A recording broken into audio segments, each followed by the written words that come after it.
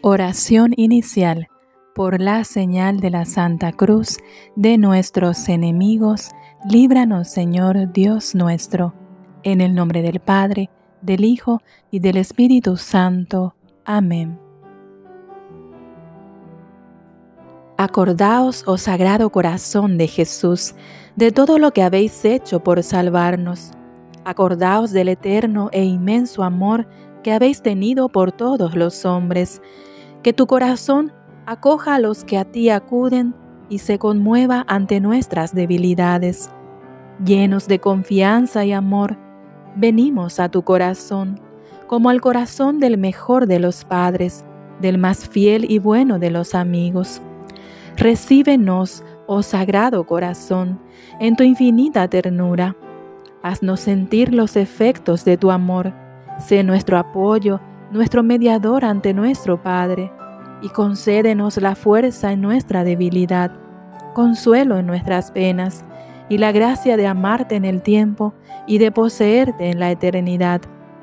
Corazón de Jesús, acudo a ti porque eres mi refugio, mi esperanza, el remedio de todos mis males, el alivio de mis miserias la reparación de todas mis faltas, la seguridad de todas mis peticiones, la fuente inagotable para mí y para todos, la luz, fuerza, constancia, paz y bendición.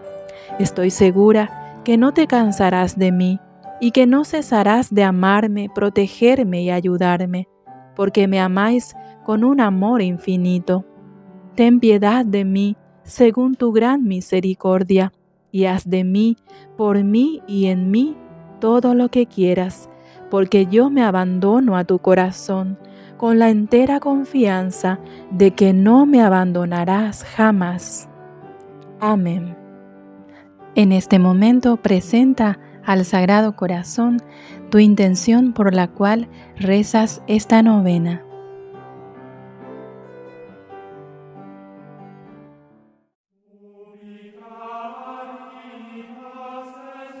Este es el corazón de Jesús, ese corazón que tanto amó a los hombres y que tanta ingratitud recibió por causa de su amor. Este es el corazón que tanto amó. En este primer día de la novena al Sagrado Corazón, hablemos de ese amor, porque el corazón de Cristo nos amó desde la eternidad. Hay un amor que es de Dios, es un amor que nos supera totalmente, es un amor que no vamos a comprender jamás, porque es un amor puro, recto y que recae sobre nosotros sin nosotros haber hecho ninguna cosa para merecerlo. Es un amor que se nos da gratuitamente.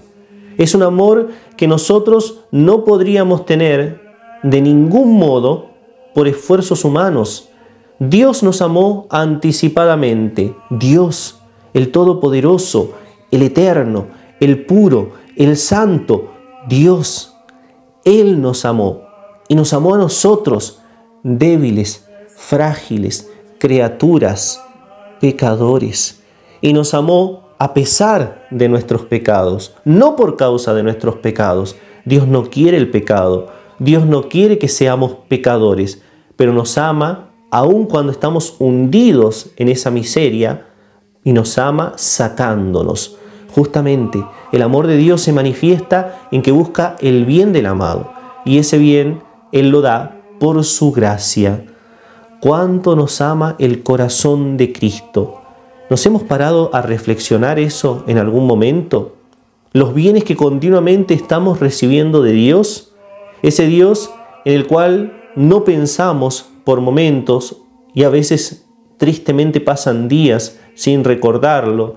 Ese Dios al que los pseudocientíficos niegan, ese Dios, sin embargo, está ahí y nos está amando. Y nos está amando desde un corazón humano, un corazón que como tan maravillosamente se ha dicho de forma mística, explotó en el Calvario porque no pudo resistir tanto amor. El corazón era humano y el amor era divino. Y Cristo murió por propia voluntad, dicen los teólogos. Sí, estuvo en la cruz, fue crucificado y cualquiera hubiera muerto en ese tormento, pero Él murió antes de tiempo y Él murió después de dar un gran grito, un gran grito que manifestó el amor total, el cumplimiento perfecto con la voluntad divina. Le explotó el corazón de amor. Ese amor de locura, diríamos nosotros, que Dios nos tiene, es el que hoy, en este primer día de la novena, nos está diciendo, quiero que me ames. ¿Cómo es tu amor? ¿Realmente has conocido el amor? Tenemos que trabajar en ese amor a Dios, porque Él nos amó primero. Nosotros no lo merecíamos y Él nos amó primero. Oración final.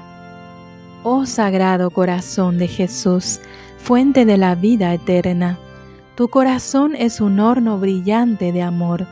Eres mi refugio y mi santuario. Oh mi amado y adorado Salvador, consume mi corazón con la llama con la que se quema el tuyo.